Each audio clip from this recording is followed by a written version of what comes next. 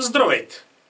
Аз съм Михил Михайлов и днес ще ви занимавам отново с това пернишко говедо и съдия в Софийския районен съд Станислав Серевчев, който от два месеца е известен в съдебните среди с прякора Славчо Некролога.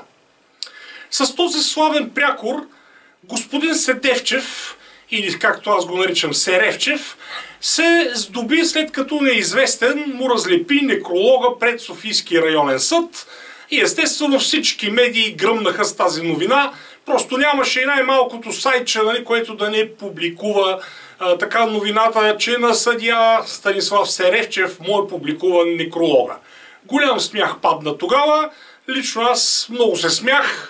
Естествено, след 2-3 дена не ми беше вече толкова смешно, защото у нас нахлу полиция, разбиха вратата и ми конфискуваха цялата, т.е. не ми я конфискуваха, взете за експертизи, цялата снимачна и компютърна техника, не знам какво ще търсят в нея, но аз съм така заподозрян като извършител на деянието. В компютърната техника няма нищо да намерят, защото Просто каквото и да търсят, няма нищо, което да е свързано с този случай. Нали, с а, разлепването на некролога, на Славчо некролога. Нека да го наричаме вече така. Сега, аз не скривам, че с Славчо некролога имам така стара връжда. Беше съдия по едно дело с мое участие, ама чак пък да тръгна да го правя за смях пред цяла България – не ви ли се струва малко абсурдно? Както и да е, да оставим миналото и да преминем към настоящото.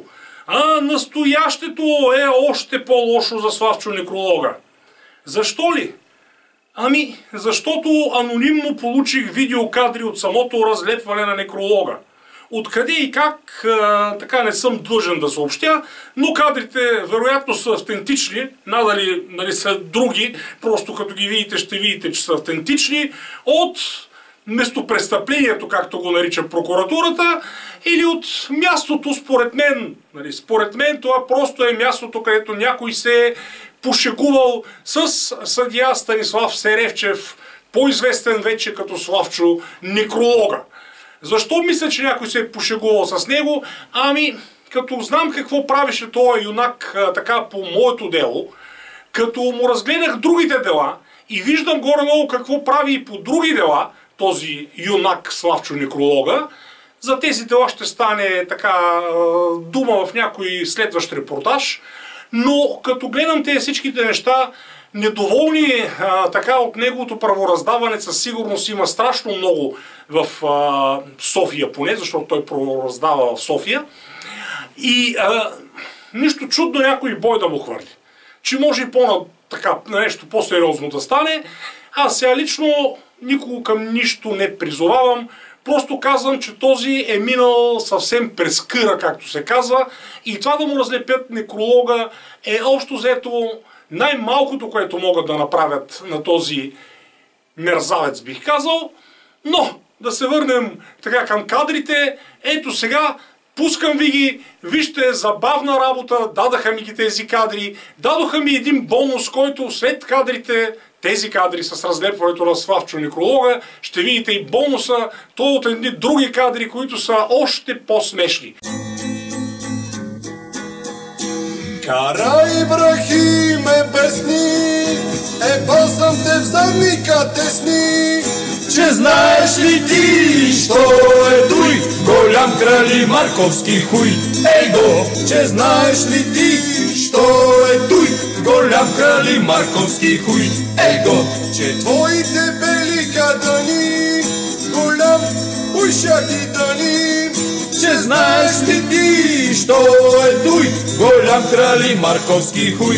Ей го, че знаеш ли ти, що е той, голям крали Марковски хуй. Ей го, да пазиш писмото ми в тайна, чипал съм ти путката майна, че знаеш ли ти, що е той, голям крали Марковски хуй. Ей го, че знаеш ли ти, що е той, голям крали Марковски хуй. Ей го,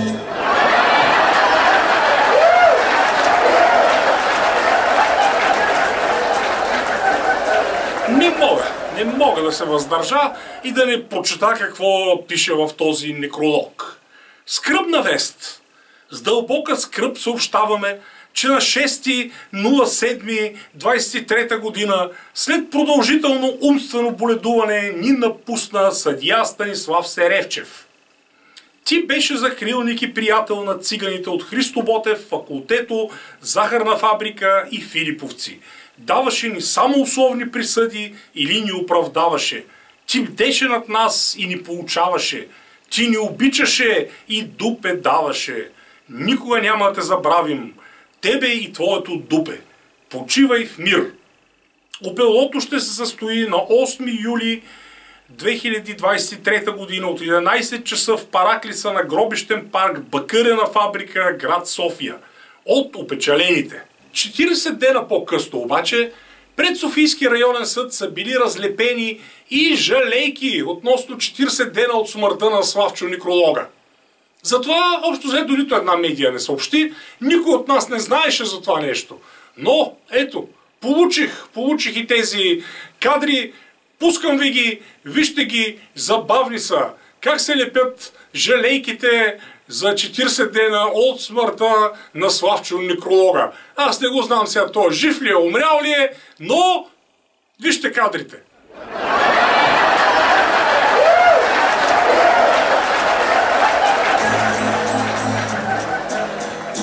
Карай, Ибрахиме, бесни, ебал съм те в задника тесни. Знаеш ли ти, що е той голям крали Марковски хуй? Ей го, че знаеш ли ти, що е той голям крали Марковски хуй? Ей го, че твоите бели кадани голям ушаки дани че знаеш ли ти, що е той голям крали Марковски хуй? Ей го, че знаеш ли ти, що е той голям крали Марковски хуй? Ей го, да пазиш писмото ми в тайна, чибал съм ти путката майна. Че знаеш ли ти, що е той голям крали Марковски хуй? Ей го, че знаеш ли ти, що е той голям крали Марковски хуй? Ей го, Не мога, не мога, не мога, просто не мога да се въздържа да не прочета и така жалейката по повод 40 дена от смъртта на Станислав Серевчев. И така, скръбна вест, 40 дена без съдия Станислав Серевчев. Ти умря от зла ръка, нанесла удар с копия в газа. Твоето дупе за нас беше свещенно. Душехме го, прочиствахме го и му се възхищавахме. Това беше твоето най-голямо удоволствие, особено като го прочиствахме. Ти ни награждаваше за това с оправдателни присъди. Дано сега се намираш в рая на пидяразените. Там ще бъдеш в един по-добър и привлекателен за теб свят. Ето това, драги зрители, мисля да бъде финала. Финала на нашето включване, на включването ми относно Станислав Серевчев. Както се казва, ако не ме арестуват, ще има и следващо включване пак на тази тема. Този път ще разнищвам делата, или поне едно от делата, по които Станислав Серевчев е бил съдия. Пък защо всъщност да не разнищя и моето собствено дело?